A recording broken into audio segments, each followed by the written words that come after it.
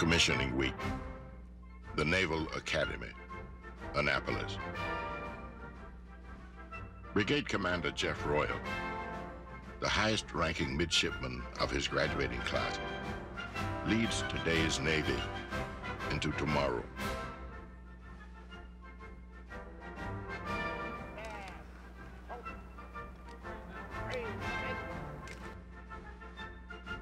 World War II veterans Lorenzo Dufour and James Graham served in yesterday's Navy, where segregation was the rule and Jim Crow called the cadence. Most black sailors were relegated to duties as cooks or waiters or shorebound or laborers.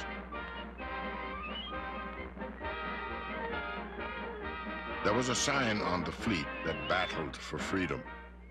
It said, whites only, except for one ship and one crew of 160 men. Their ship, the USS Mason DE-529, the first and the only World War II U.S. Navy warship manned by a predominantly African-American crew. This is the story they never told before. Proudly we served.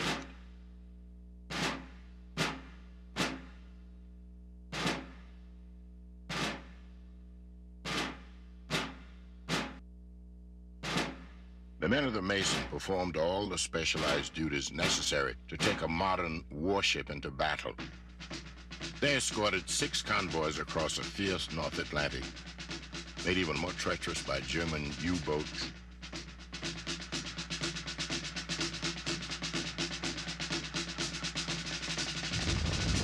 The skill of these young sailors, their courage under fire, their dogged determination, and the camaraderie that sustained them helped to blast away barriers and to push the U.S. military toward full integration. Thousands of black officers and enlisted personnel have followed in their wake, and yet history has forgotten the USS Mason. Why was this all kept a secret? Is... That's a very good question. You'd have to go back in history about 50 years. March 20th, 1944. Charlestown Navy Yard, Boston. Another commissioning ceremony. The mother of Ensign Newton Mason, a young Navy pilot shot down during the Battle of the Coral Sea, christens the ship named for her son, the USS Mason Destroyer Escort 529. It was one of the hundreds of these specially designed anti-submarine vessels rushed into production to provide some protection for the great convoys of troop and supply ships setting out to liberate Europe from the Nazis. DEs were fast, maneuverable, heavily armed, and expendable. Built in weeks, not years, expected to last no more than six months, these little ships served on the front lines of the Battle of the Atlantic. When Hitler's armies crushed Europe, an isolated Britain depended on supplies from North America for her very survival. But in 1941, the Nazis ruled the seas. Winston Churchill would later write, the one thing I really feared during the war was the U-boat. When the United States joined the fight, the first victory had to be victory at sea.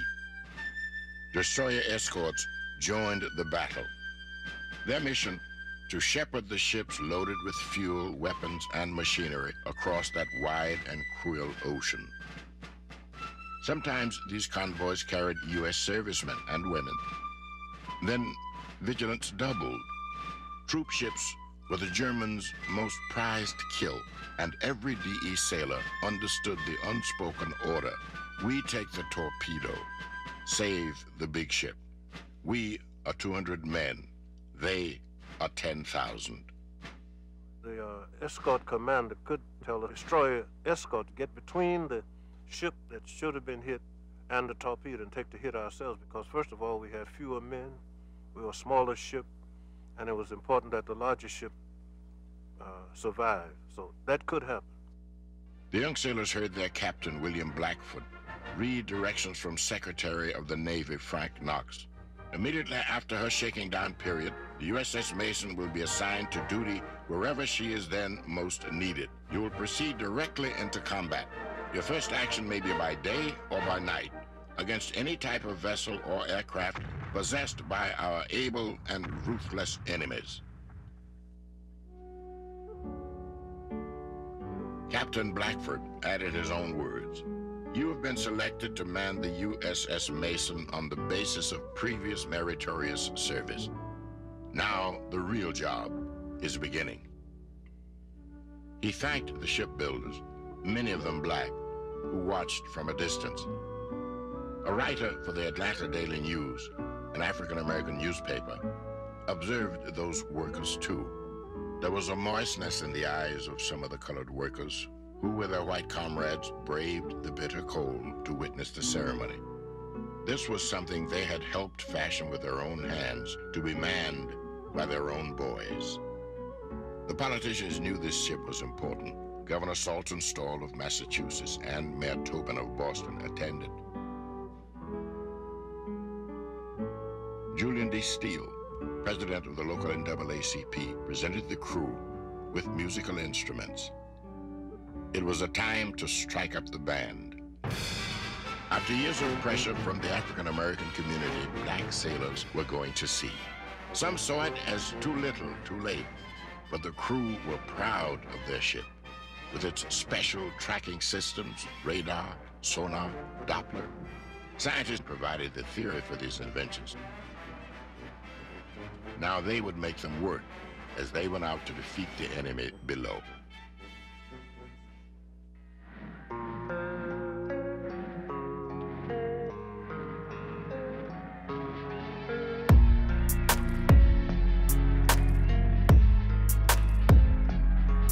Black Americans wanted to serve, but they were determined that the experience of World War I not be repeated. Black soldiers then had fought valiantly overseas. The 369th Regiment fought under enemy fire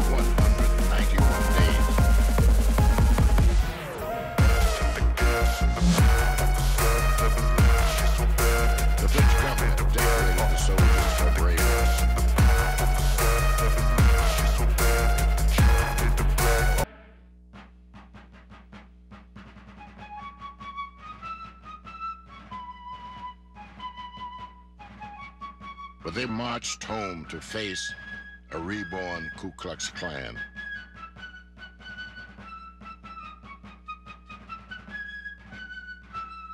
Birth of the Nation, which celebrated the Klan's beginning, was shown in the White House and hailed by President Wilson as history writ with lightning. Why help white America win another war if the lofty principles of democracy defended abroad were ignored at home. African American leaders found a powerful ally. Mrs. Roosevelt, the president's wife, and Dr. Mary McLeod Bethune both were personal friends. My being a personal friend to Dr. Bethune, that's how the, I am the third party in this group because as long as I live, and I'm 97 years old now, I'm still going to fight for to do away with segregation. Because why should I hate you just because your skin is white? And you certainly have no right to hate me because my skin is black. Such voices persuaded President Roosevelt to mandate some changes in the military. Volunteers poured into the army. Joe Louis, had just defeated Max Schmeling, Hitler's favorite boxer. He led the way. The army was still segregated and black companies kept from combat.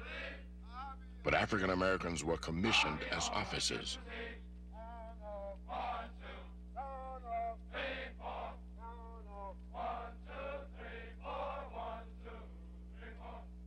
Units such as the Tuskegee Airmen and the Armored Tank Battalion were formed. But the Navy resisted change. even though service by African Americans was an integral part of its tradition. In the Revolutionary War, black men fought in U.S. sea battles.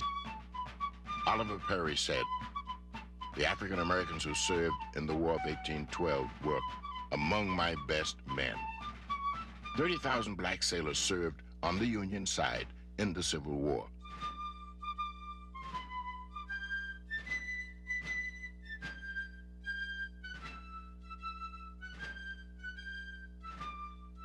Robert Smalls of Beaufort, South Carolina, pilot on the armed Confederate wheel transport, the Planter, took over the ship and presented it to the Union Navy as a prize of war.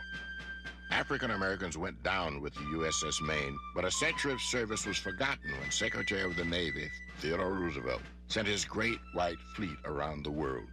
Serving African American petty officers were transferred to shore duty or discharged. In 1919, the Navy stopped all black enlistment.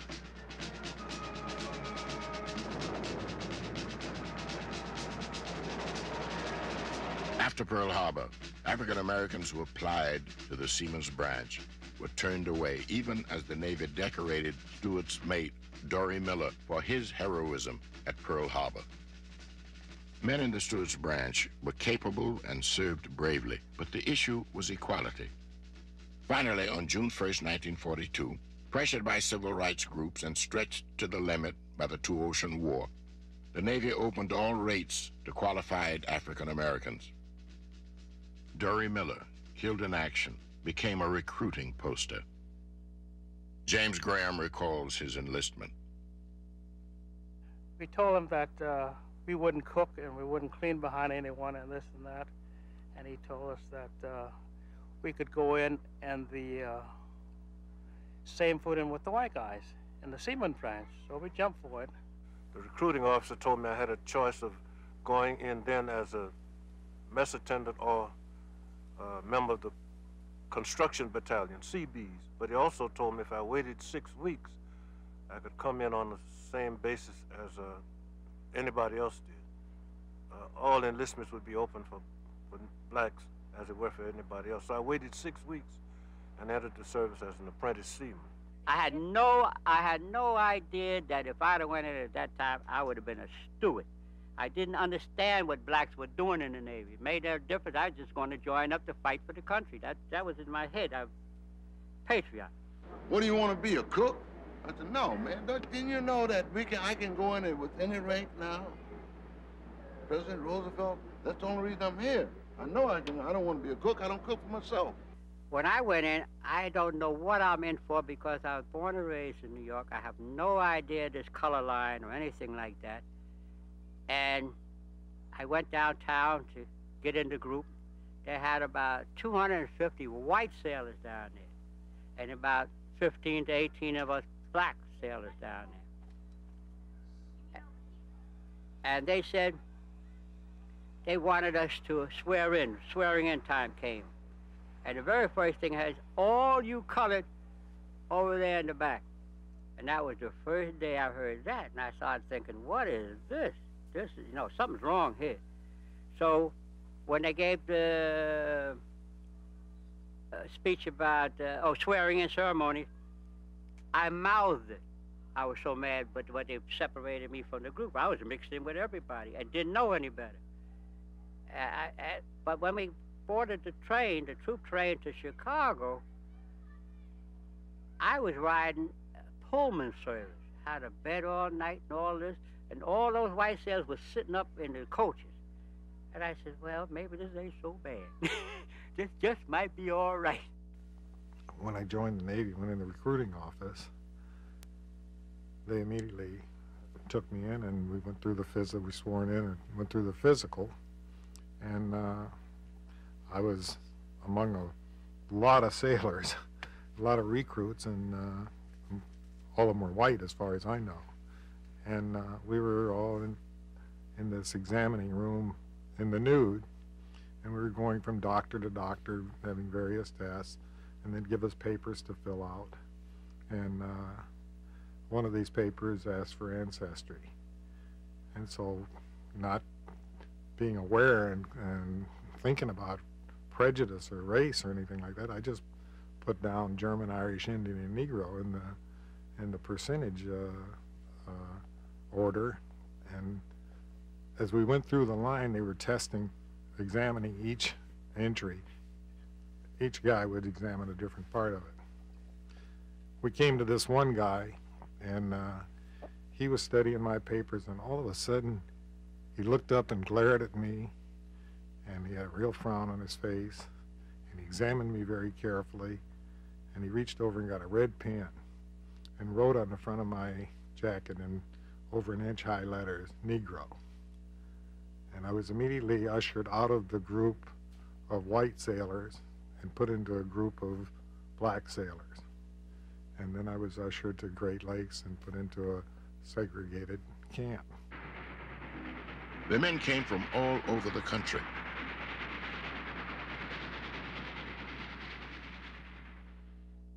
I was born in a little place in Lake City, South Carolina. I think the population was under 10,000. James Graham and his family lived on the premises of the Imperial Tobacco Company, where his father George was the caretaker, a key position in a county that depended on tobacco and cotton for its livelihood. He attended a segregated school. Lunch came from home or was bought at the penny candy store. But I used to, when I was a kid, I used to work at the Imperial where Mr. George was at. It was a lot of fun because it wasn't much to do. We got on the train going to Chicago, Great Lakes, Illinois. The older guys, they were smoking and drinking and lying, and we fell right into it. Just a few miles away from James Graham's home, Benjamin Garrison lived on Wheeler Hill in Columbia, South Carolina. All life, almost everything was segregated. Uh, waiting rooms at the train stations, bus stations, drinking fountains, theaters. Much has changed there, but some neighbors remain. Yes. And this church, here since before the Civil War. This house is similar to the house I was born in. With all its uh, inconveniences, it was a pretty good place to live. It, it, it was a rigid system of segregation throughout the South but I wasn't as aware of it then until I went into the Navy and, and mingled with other people and saw that how things should be or could be. In 1942, even in cosmopolitan New Orleans, segregation placed limits. In New Orleans, uh, when you ride on the public transportation, they had what was known as a screen. It was a little board fit in the back of the seats, and uh, you had to sit behind that because it would indicate for colored patrons, and you sat behind that. Lorenzo Dufour still visits Carrollton, where the house he was born in still stands. And the remarkable thing, the house is still here. It, it was here before I was born, and it's still here. It just, it does an emotional thing to me and the church where he worshiped still inspires. 919 Adams Street, the home of the First Remission Baptist Church. Great Lakes would be a colder climate. Kansas City, Kansas. I was living in Kansas City, Kansas. Down in Caldwell Troop trains. Pick them up in Arlington, Union Pacific, and take them out to Frisco, uh, Los Angeles to take the boat to go over and fight. So I volunteered for the Navy. Can you imagine that? Volunteering for the Navy. And I was making mucho money. Beaucoup l'argent.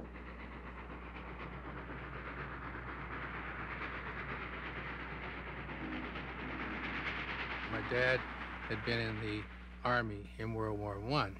And during my formative years, my dad had, in way of chastising me, would tell me anytime I did anything wrong, if you were in the Army, you wouldn't be doing this or you would not have done this.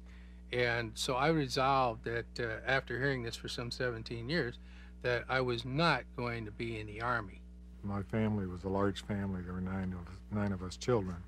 And uh, we were very poor. And so my mother decided to move us to Michigan uh, about 125 miles from Chicago, so that we could live in a rural climate because my parents were both from the farm and uh, in Mississippi, and they were able to uh, raise crops. So in the Depression, uh, they took us up there so we could raise our own food, and that way we could survive. Men from the North traveled shorter distances, but still entered a different world. Each had his own motivations. I graduated from Proviso High School in Maywood, Illinois. I had had the uh, experience of being in the CMTC, the CCCs, and I found out that sleeping on the ground wasn't my idea of the way to spend the war. So, so I uh, opted for the Navy, where we slept between clean sheets practically every night and got three hot squares a day under most conditions.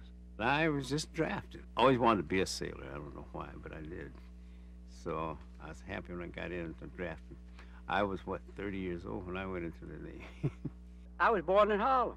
I did a lot of modeling as a kid, uh, uh, planes, anything I had. And then uh, just before the war, I was modeling ships.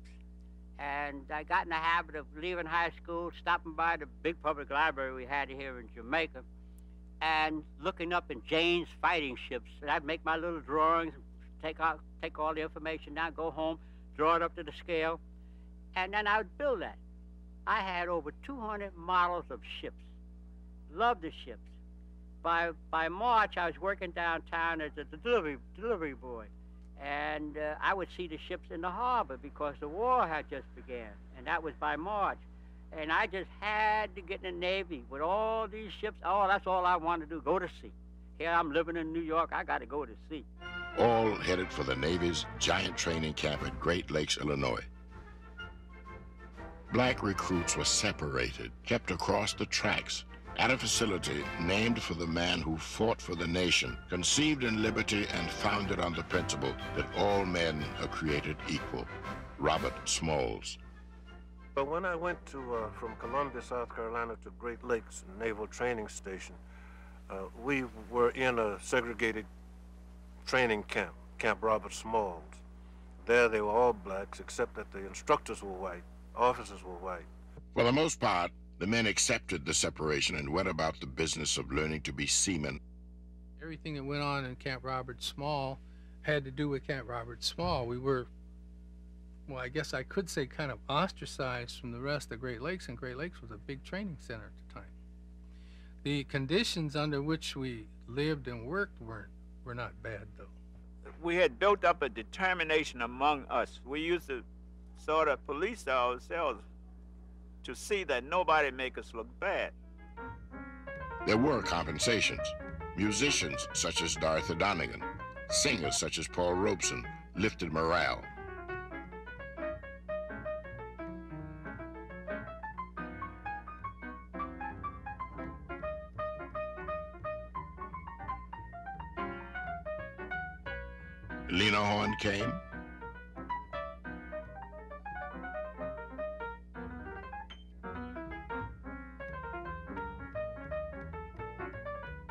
Roosevelt's valet, George Fields, was now a rated Navy man.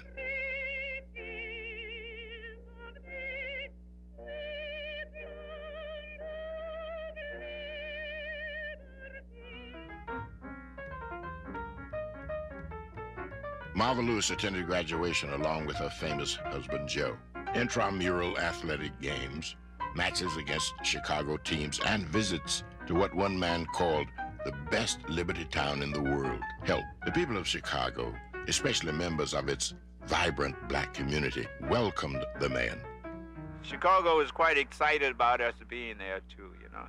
They achieved great success and qualified for jobs black sailors had not been permitted to do and took up assignments on shore stations. They put me on a um, patrol boat, and we was going out on a regular basis out on the coast of uh, New Jersey I was out and I said to the, I said to the officer, I was steering the ship, uh, what happens if we do see a, a submarine? He says, we ram. We set the depth charges at 30 feet and we ram.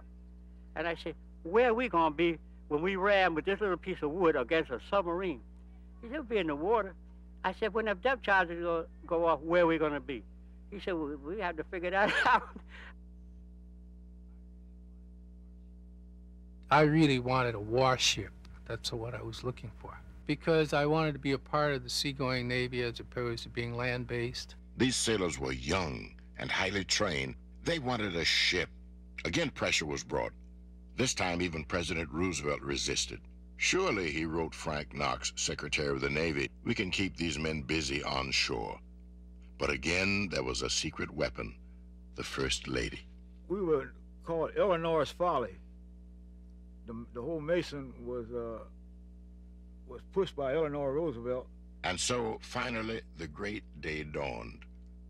And soon these teenage kids from Harlem and Lake City, Chicago and Columbia, Providence and Cleveland were the men of the Mason with their own credo. So when you meet up with the ma- with the Mason, please select your chatter well, for if you should use some slander, Jack, you've got a home in hell. There were more shoreside indignities in the U.S. Charles Divers recalls Norfolk. Coming back from uh, Liberty one night, uh, myself and a bunch of Marines and uh, sailors were waiting on the Charlie. And when the Charlie came up, we all climbed aboard, and uh, and the Charlie just sat there. so the guys all hollered, "Hey, Mac, let's get this thing going. We got to get back to the base."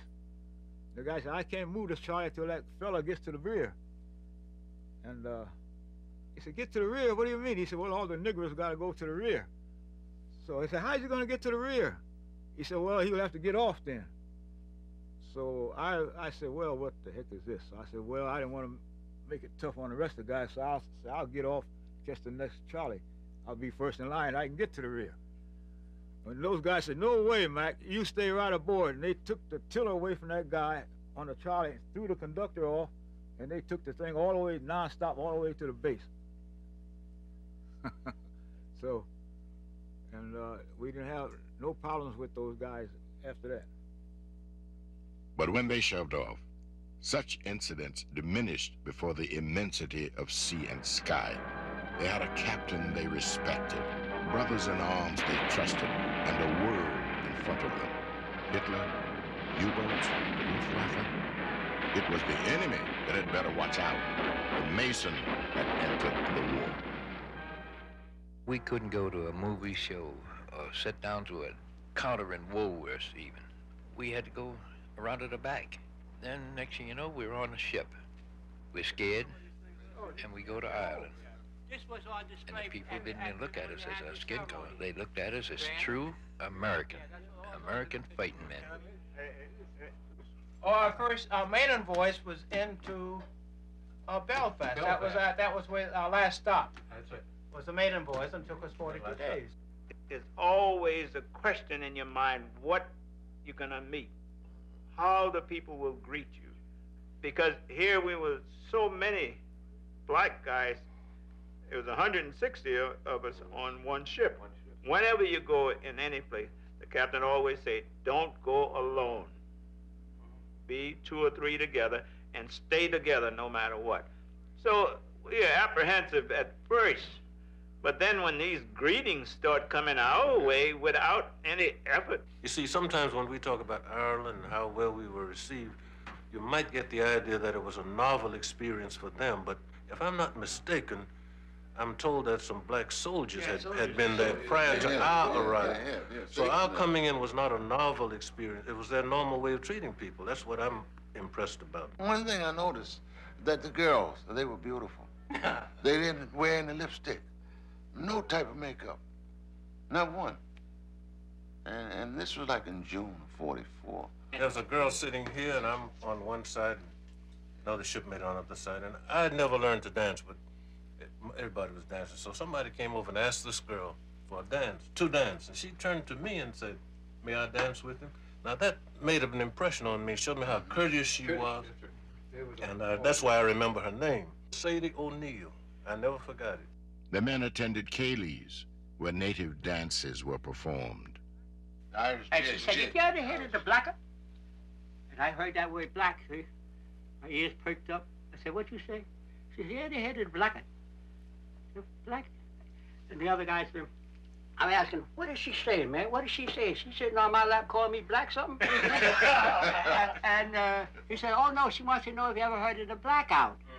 And I said, oh, sure, New York, we have plenty of blackouts and all like that. And then we danced around in the I couldn't dance, Yeah, but I I danced it. around in that circle, but The circle, and you go one way, and then you Yeah. this way, the circle.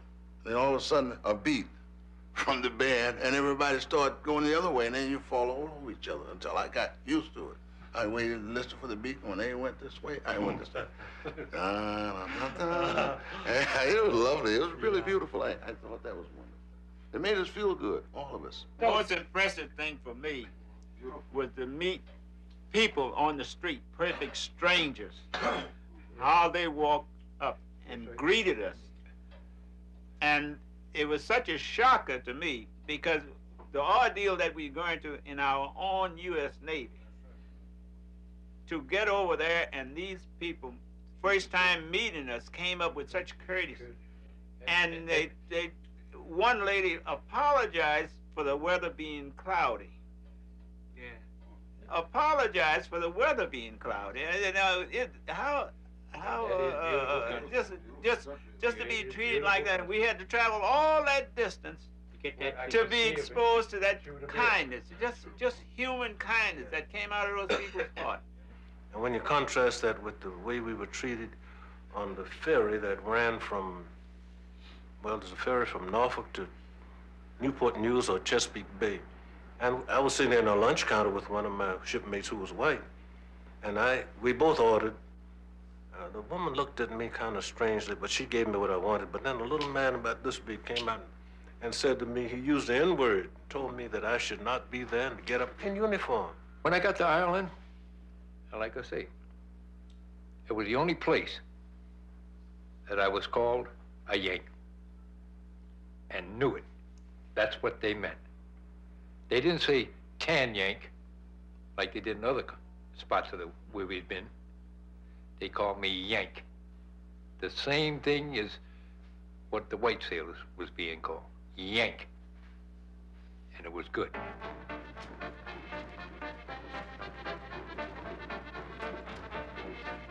Accompanying them on their first voyage was Thomas W. Young, first African American war correspondent ever to sail on a Navy ship.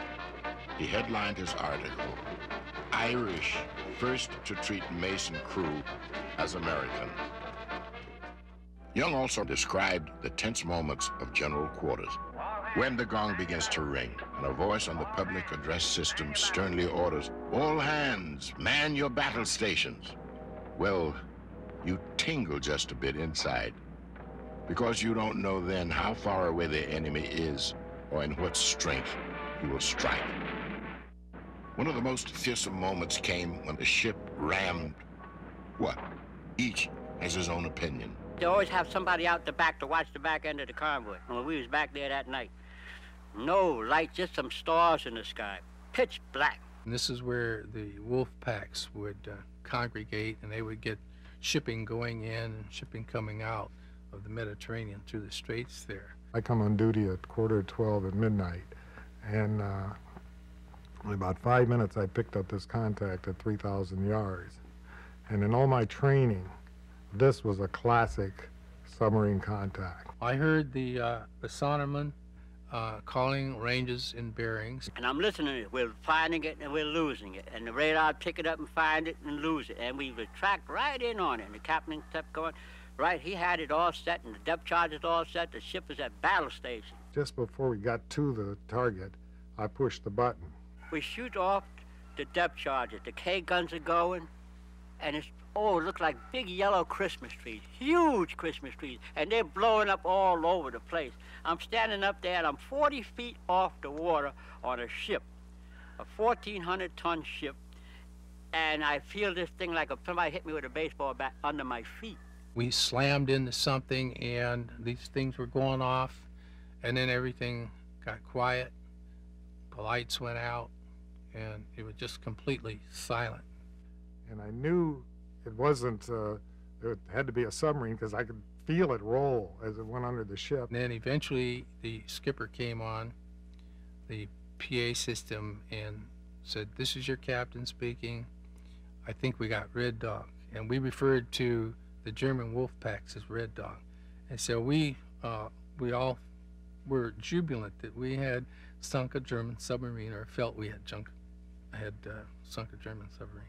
So now I go down, I'm set down to the flying, uh, to the signal bridge. DuFau's on the signal bridge, and the, the officers are leaning over and talking to us because they want it lit up and they don't want it lit too long.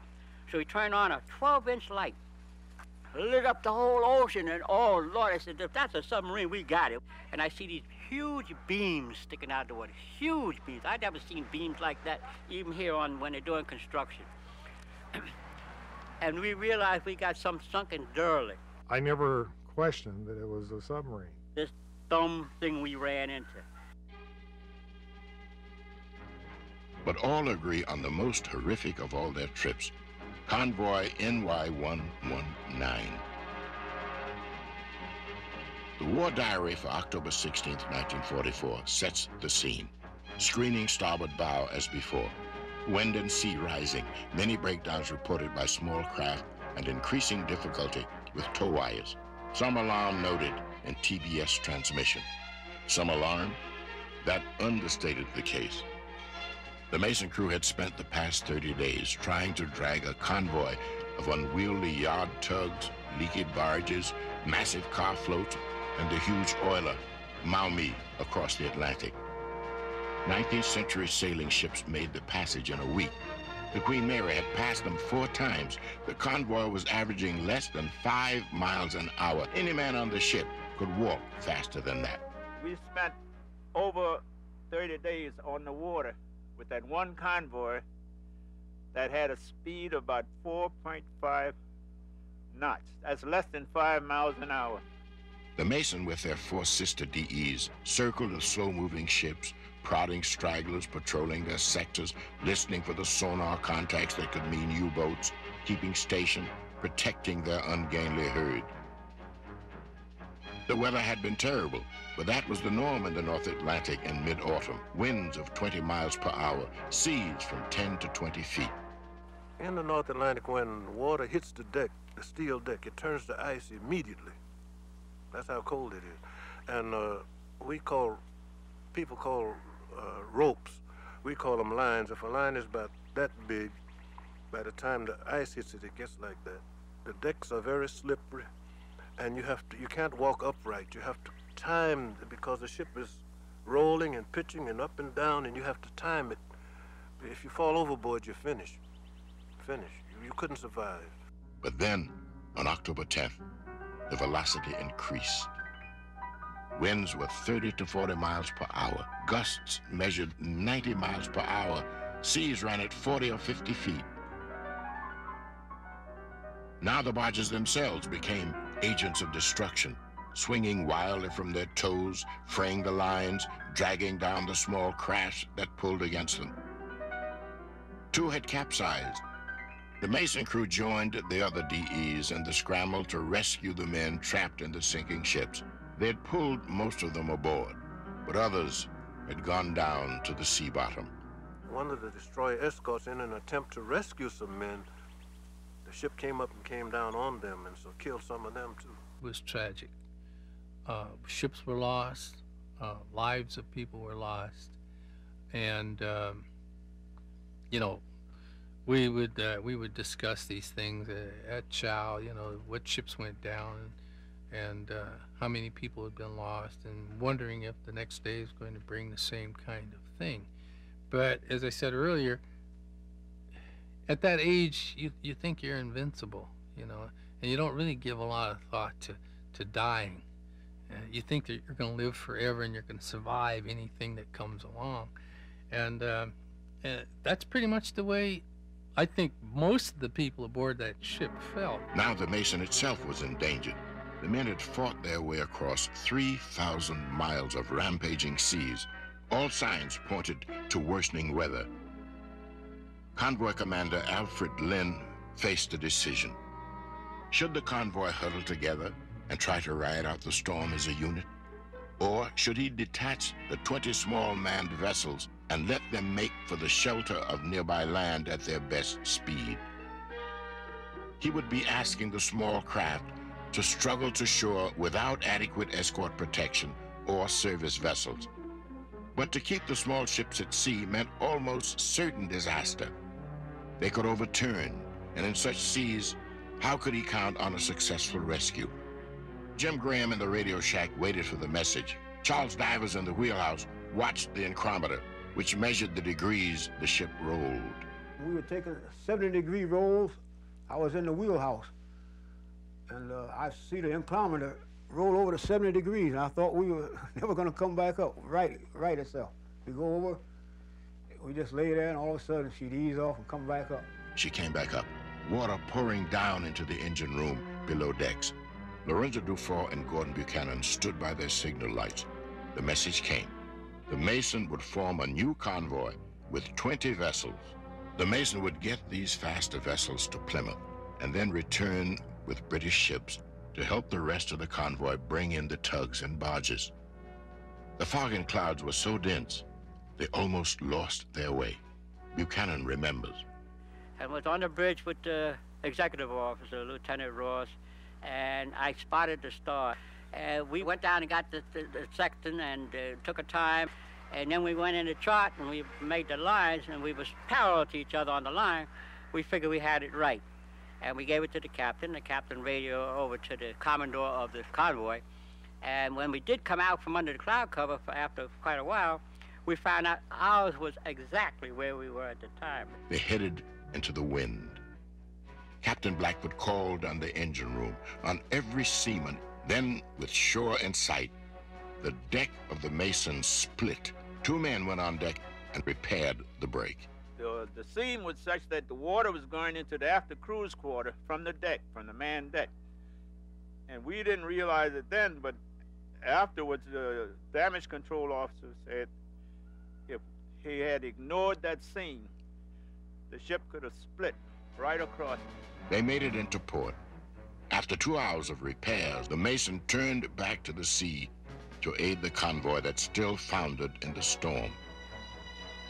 Two British vessels were ordered to accompany the DE. The three ships started together. The British stopped and returned to port. The USS Mason stayed at sea for three more days, assisting 12 ships of the convoy. She was ordered to shelter from another storm, but on the 24th of October to the 27th, she worked to salvage barges off the French coast. In his official report to the head of naval operations, Commodore Lind wrote, Commander of the task group considers the performance of the USS Mason, her commanding officer and men outstanding, and recommends that this ship be given a letter of commendation to be filed in the record of each officer and man on board that vessel. Receiving such an honor would have been a high point for the crew and front page news in papers throughout the black community in the U.S. Negro Blue Jacket Heroes, the headlines would have read. What a moment to savor. But the commendations never came. So there were no headlines. In fact, when the crew finally were granted liberty and headed for England, where rumor had it there were hot dogs, mustard, and Coca-Cola, they were turned away. Whites only. We hadn't had Coca-Cola and hot dogs and mustard since we left the States. And I think about three or four of us were together, found the canteen, went up the steps excited of getting hot dogs, and a lady told us that wasn't our canteen. We traveled 3,000 miles and found out JC was there ahead of us. JC among us, Jim Crow. Although the Mason crew faced problems on shore from white sailors, convoy duty demanded that each man concentrate on his job and left little time for personal conflict. But when the USS Mason returned to the States, submerged tensions surfaced. By the time the Mason was decommissioned, the chief petty officers were black. But some of the first white chiefs had a different idea of their place on the USS Mason. The captain was aware, was fully aware of the conflict we was in because At one time, we had some chief petty officers. A couple of them had the nerve to tell the captain that as long as you keep them in their place, everything would be all right. So the captain wanted to know what you mean in their place. Well, they didn't want them up around uh, Chief Petty Officer's quarters, and there was a couple of other requests they made that just didn't fit in with Navy regs, and it didn't fit in with the captain operating a ship. It was going to be a disharmony aboard his ship, which he was going to tolerate. And the very next day, Scuttlebutt had it go hang out on the boat deck because the yeoman was about to read some orders. And he read them orders that they was being transferred from there to the receiving station in New York for future orders. And one of those guys, before he left that ship, he spewed out his hatred to the men. He didn't give a so-and-so what happened to them. He hoped when we get out there, some submarine would hit us and destroy every one of us. So one of the guys said, we love you, Chief. The USS Mason shepherded three more convoys across the Atlantic to Oran, Algeria in the spring of 1945. The U-boats made a final frantic effort to impede the Allied armies advancing across Germany by staunching the continuous procession of ships. But victory for the Allies was in the air. The men found Algeria both exotic and welcoming, but even as the men picnicked on the beach, the poverty of the Algerian people disturbed them, and they devised ways to get around the rules against giving food to the people. They met the African soldiers serving with the French army and visited the Kasbah. We saw the women with the veils. We were told not to bother them at all. And of course, we didn't bother them, but we were curious. On the way home, after one such trip, the great news came. The war in Europe was over. The crew expected to be sent to the Pacific, but first James W. Graham had a particular duty. He was to marry a special woman who was practically a shipmate. Well, I think it was one morning I was coming off of duty, and uh, Skinny is my brother-in-law. He had uh, Bob's picture on his bunk writing a letter, and I saw it, and I said, uh, "Who is that?" He said, "That's my sister." I said, "Is?" He said, yes. I said, do you mind if I write her a letter? He says, no. so I wrote her a letter, and we've been together ever since. Uh, you know, uh, could he ask me, could he write to my sister? And I said, yeah, yeah, no big deal. It was all sailors together, no problem. But that correspondence kept up without my knowing it. But eventually he came to my home, met my sister and everything, so that turned out pretty nice. I am Barbara Buchanan Graham, and I'm married to James Warren Graham, who served on board the USS Mason DE-529 as radioman second class. Served well, I might say. And I say that I'm Barbara Buchanan Graham to bring this into play here because the Buchanan that served with my husband was my brother, Gordon Buchanan. And he brought Ray home to me. Guess he thought his sister wasn't going to get a fella. But he brought him home. And uh, I like what I saw. And I was young and foolish, but I still liked what I saw. In the midst of reunions with wives and families, they had one sorrow. Captain Blackford was leaving, promoted to a higher post. They would miss his great seamanship, his humanity. Blackford treated us like men. He, he accepted us what, for what we were. He gave us responsibilities and we handled them. He had utmost confidence in us like we had in him. Their new captain, Norman Meyer, saw the men differently. He offered to teach them to read and write. He would spend less than three months on the Mason. What the men remember most is the two times he crashed into another ship.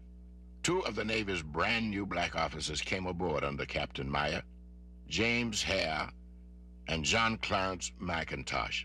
By this time, the war was over for the Mason. Most of the men left the Navy behind.